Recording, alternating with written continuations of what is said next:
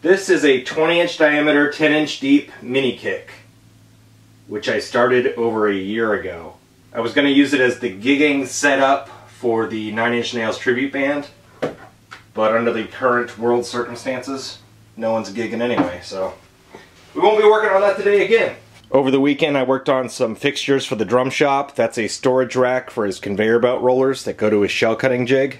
Several brackets for a decorative shelf we're putting in the office, and another batch of drum hangers.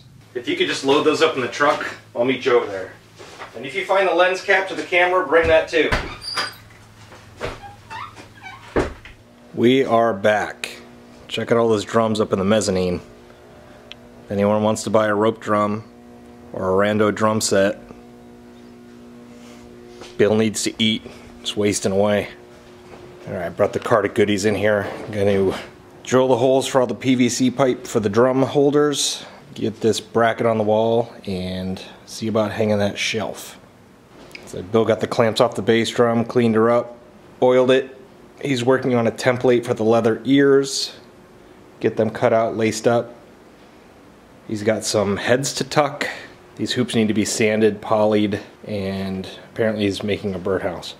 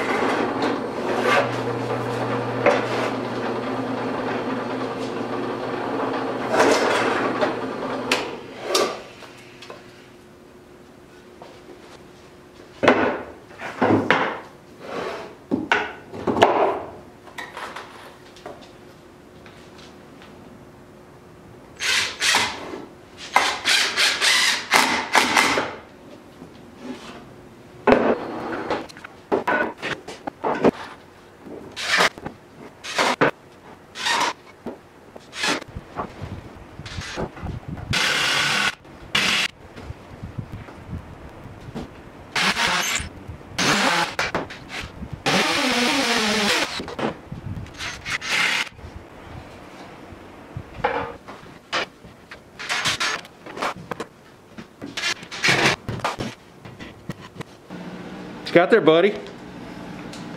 I got some. I got some sheep intestines. That's what I got. Mmm. Or possibly goat, but definitely not cat.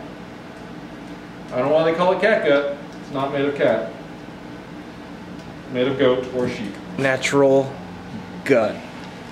Natural gut. I got a natural gut. Yeah, you do. I got the roller jig components mounted up on the wall. Just gotta put one of those drum hangers here. Got several. Got about seven of them to spread around the shop. Put them anywhere we can.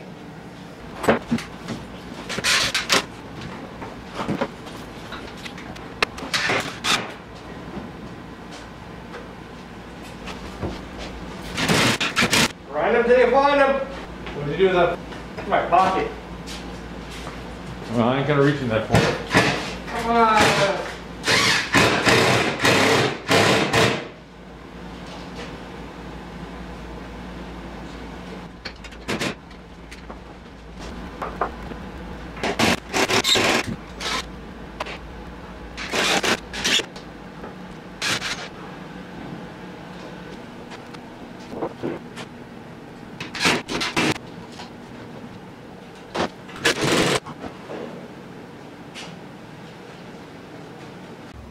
I've never actually seen one of these tucked. I'm not good at this, um, especially with one this small. Like this is. So that's legit cowhide, right?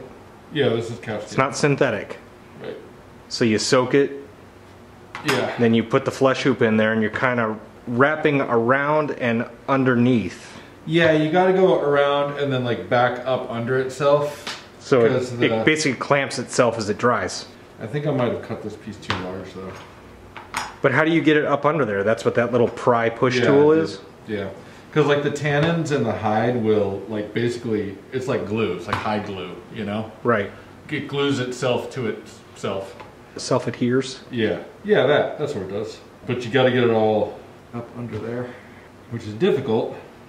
But in particular, for me at least, these small diameter heads, it's like such a pain in the ass to get you know, to get it tucked up under there. When um, with a larger diameter, where you kind of have more room to work. Right. I was, Always working on a tight. it looks like the tighter the curve is equating to more wrinkles and bunching up. Yeah, and that's the thing that like I I have a really hard time figuring out how to resolve. And part of that is because I never know quite what diameter to start with. Because even if I measure and measure like you know how wide is the flesh hoop and, and how far around is it gonna have to wrap and stuff like that, I can never quite predict like what's gonna be the right uh, diameter to start with. That's why you gotta ask Steel. He probably goes out in the wild, wrestles the kangaroo, and then it puts itself on a flesh hoop. Yeah, I know, right? For a while, he was doing um, uh, master classes on on how to do this. Like he went to Singapore for a while. So I gotta see if I can FaceTime him and be like, "Can you just teach me how to do this, man?" A big wrinkle in here. I have a hard time getting it out. I got four of these bracket savages up. I could not hit a stud next to the door. So the jack and the king must be behind that molding. Or they just didn't use a jack and a king. So I went through the molding. Two studs out this way, gonna hit two studs out this way. I look like a monkey humping a football up there trying to do it, so we ain't filming that. And speaking of monkeys humping a football, that's Bill's design for the leather ears. So uh, we'll have to ask him about that. It's almost like I know what I'm doing. I don't, but it looks like I do. Let's load it up with drums.